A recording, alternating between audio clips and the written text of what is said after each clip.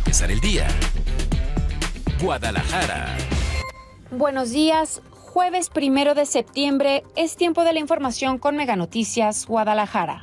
El Ayuntamiento de Guadalajara instalará cámaras de identificación facial en 10 escuelas secundarias para vigilar el interior y exterior de los planteles como parte del programa Tu Sonrisa Checa. Estos equipos serán operados por las escuelas y se pedirá autorización a los padres de familia para instalarlos.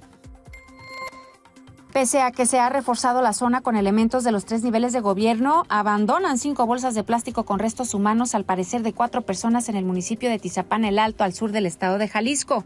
Los restos fueron dejados en una estructura que se localiza al ingreso de la comunidad de Ejido Modelo.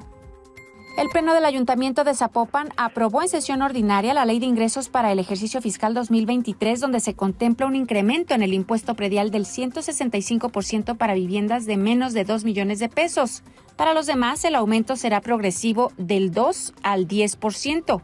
El gobierno justificó que por motivo de la crisis económica que derivó de la pandemia por COVID-19 no hubo incrementos en este impuesto en los ejercicios fiscales 2020, 2021 y 2022.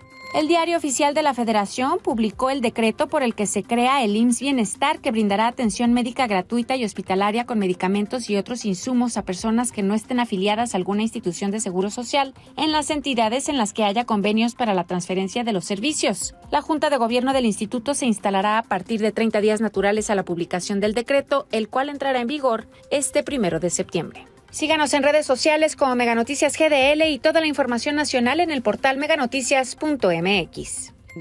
Para empezar el día, Guadalajara.